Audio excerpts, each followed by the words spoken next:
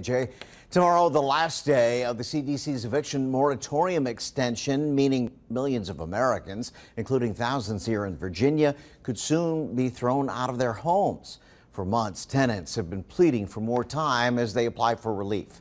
On your side at 6, Enzo Domingo spoke with one landlord actually working with a tenant but admits it's getting tough, Enzo. Yeah, that's right, Kurt. That woman that I spoke to, Mary Harwell, says she doesn't intend on kicking her tenant to the curb, but they've been applying for months so they could use any sort of relief as she does have her own bills to pay.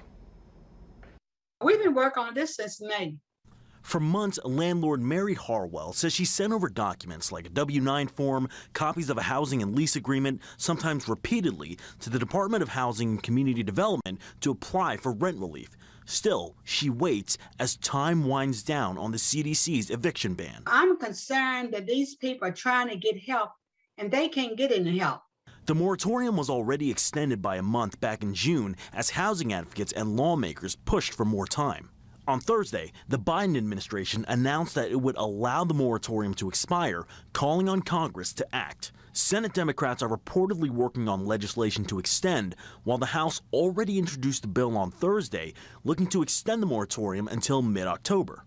Speaker of the House Nancy Pelosi said of the $50 billion in rent relief that was allocated, only 3 billion had been reportedly used. Why should the, uh, the renters be punished for the fact that the system did not put money in their pockets.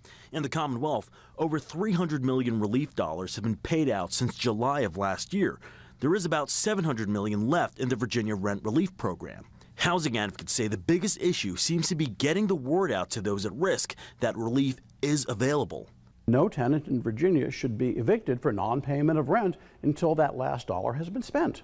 Now, Harwell says she doesn't expect to kick out her tenant, but that things are already tough without relief. I'm going to work with her as long as I can, but still, I have bills to pay. All right, so that $300 million in relief money that Virginia has gotten has gone to over 48,000 households so far. Now, we do have advice directly from housing advocates for people that believe they might be at risk for evictions with links on our website and on our news. Well, slow down.